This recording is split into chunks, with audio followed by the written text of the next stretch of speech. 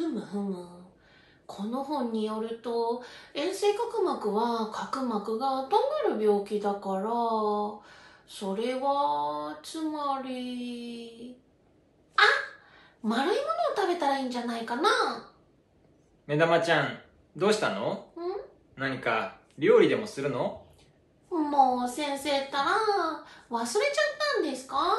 今日は世界円錐角膜の日だから円錐角膜が治る食べ物をみんなに教えてあげようと思って。それでは今日は世界円錐角膜の日の特集ということで、円錐角膜を進行させないようにするにはどういった生活をすればいいのか、そんな内容で特集としてお話したいと思います。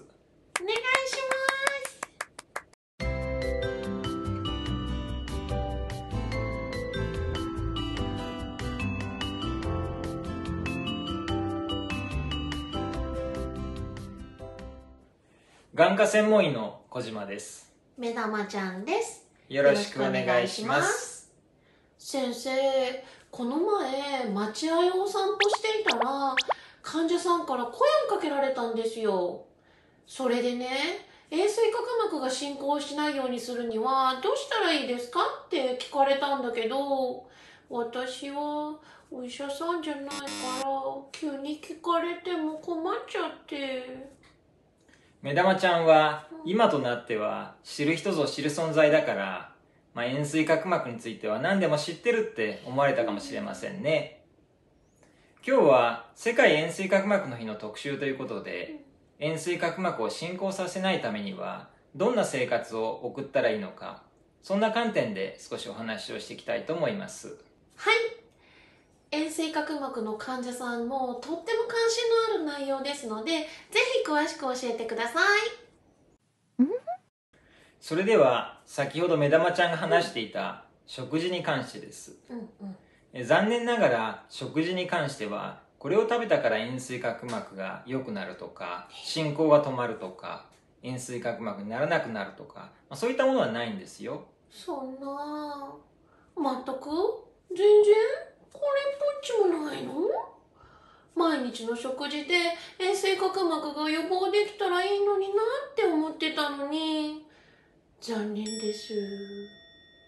ただうん。最近の研究ではビタミン D の不足が円錐角膜と関連があるということが指摘されています。日本でもビタミン D 不足の方が多いことが最近分かっていますので特に偏食の方なんかは気をつけた方がいいかもしれませんね。ビタミン D は骨を丈夫にすることにも大事って聞いたことがあるのでなんだか角膜も硬くしてくれそうですね。ビタミン D ってことは魚やキノコを食べるといいんですね。はい、その通りですね。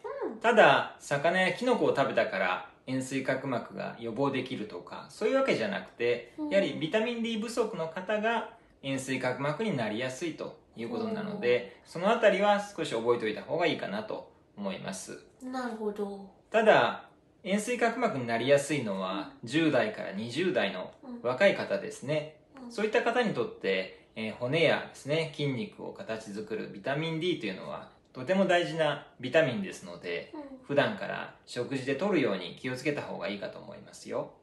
うんなるほどやっぱりバランスの良い食生活が何に対しても大事なんですね。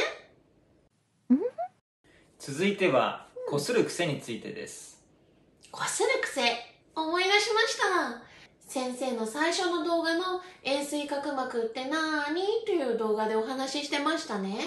こする癖がある人は円錐角膜になりやすいって。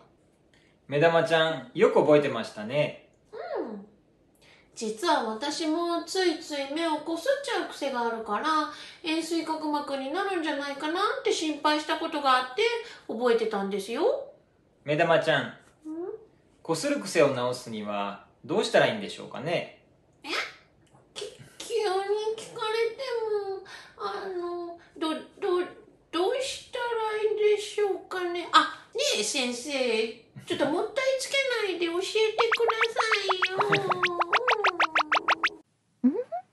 はまず、うん。どうして目をこするのかということから考えていきましょう。どうしてこするのかってそりゃ目がかゆいから？以前に、えー患者さんにアンケートを取らせていただいてうんうん。研究として学会でも発表したんですけれどもうん。目玉ちゃんが言ったように一番の原因はうん。やはり目がかゆいからこするということでした。ただ実際はかゆい以外にも結構いろんな原因があるんですよ。へえ。かゆい以外にも原因があるんですか？はい。アンケートでは目がかゆい以外にうん。目が疲れたりうん。乾燥したりうん。異物感があったりうん。あとコンタクトレンズ使ってる方なんかはコンタクトレンズを外した後にうん。なんか目がですね違和感があってついついこすってしまう。そういった原因もあったんですよなるほど。確かに疲れてる時とかってかゆくもないのについついこすっちゃいますよね。またうん。イライラするとこすってしまう。というように心理的な状態が関係しているということもあるんですよ。うーん。またうん。目をこすると気持ちいいからこすってしまう。そんな回答もありました。本当に？理由は様々なんですねこの癖をやめるにはどうしたらいいんですか？患者さんの手を絞るわけにもいかないし。まずこすることをやめるアプローチには2つの重要なポイントがあります。おお1つ目は原因を調べてうんそれに対してしっかり治療を行うということです。うんうん。特にこの場合アレルギーの治療が非常に重要になってきますもう一つの重要なポイントはうん。こういったこする行動っていうのが完全に癖になってしまっている方が多いのでいかにこの癖を治すのかというところですね。うんなるほど。アレルギーの治療においてはうん。プロアクティブ治療という考え方が非常に大事で最近では毎日のように外来で患者さんに説明していますよ。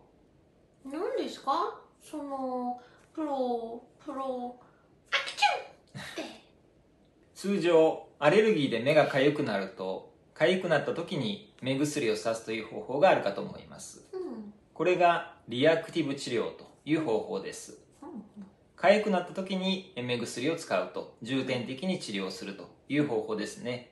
でもそれはその時は症状は治まるんですけれどもうん。すでにもう症状が出た後に対処するということですのでもうすでに目が痒くなってこすってしまったりとかあと症状もやっぱり、えー後から後からですね治療することになるので結果的に強くなりやすいという側面があるんですね。それに対してプロアクティブ治療というのはうん。症状がある時でもない時でもうん、まあ、定期的に目薬を使ってうん。目の炎症を抑えてですね普段からかゆみが起きないようにすると、まあ、そういった考え方ですね。プロアクティブ治療って予防的に普段から点眼をするってことですねはい。特にアトピー性結膜炎の患者さんやうん。重症なアレルギーの患者さんまた花粉症のように季節性だけじゃなくて、うん。ハウスダストのようにいろんなアレルギーのですね原因があってもう年中こう目がかゆいようなですね、まあ、そういった方はですね、えー特にこのプロアクティブ治療の導入のお話をしています。プロアクティブ治療の点眼薬は何か特殊なものを使ってるんですか？アレルギー性結膜炎のうん。重症の度合いによって目薬も使い分けています。重症の場合には免疫抑制薬の目薬を使う場合も最近はあります。うん。これなら1日1回の目薬でかなり炎症を抑えることができますし強いステロイドの目薬より副作用も少ないですからね。うん。なるほどプロアクティブ治療。とっても有効な治療法だということがよくわかりました。続いてこする癖を治すアプローチについても教えてください。癖ってなかなか治すのが難しいから癖なわけでその癖を治す方法なんてあるんでしょうか？その通りですよね。うん。例えばこする癖の場合うん。乾燥感があってうん。こするとその刺激によって涙が出てうん。そしてその涙によって、えー乾燥感が和らぐとうん。いうことが起こります、うん。そうすると乾燥感からこするという反応が反射的に出てしまうようになるんですね。これが癖の形成ということなんですね。ほう。癖って条件反射みたいなものなんですね。でもそれをどうやって止めるんでしょうか、一つの方法としてはうん。その反射的な行動をうん意識的にやめてうん。別な行動に結びつけるという方法です。うん。例えば目が乾燥したりかゆいような場合はうん。目をこするんじゃなくてうん。すぐにそれに対応した目薬を使うということですね。うん。その目薬が効くということになるとうん。乾燥感とかかゆみから目薬を使うというですね良い癖ができるようになるんですよ。ほう。あ私いいこと思いついちゃいました。ちょっと待ってね。お待たせ。みんな素敵なつけまつげをしたらどうですか？だって目をこすったらせっかくのつけまつげが取れちゃうのでこれで誰もこすらなくなると思います。これって世紀の大発見かもしれませんね。それはすごい発見かもしれませんね。うん。案外とありな方法かもしれませんよ。小島先生今日は円錐角膜を進行させないためには日常でどんな注意が必要かについて詳しく教えていただきありがとうございました。最近はアトピーのお子さんも増えていますし花粉症に至っては国民病と言われるほどに多くの方がかかっていますので特にこする癖には注意が必要ですね。私もみんなが目をこすってないかしっかりとパトロールをしたいと思います。チャンネル登録やいいねもお待ちしてます。それでは今日はありがとうございました。さようなら。バイバイ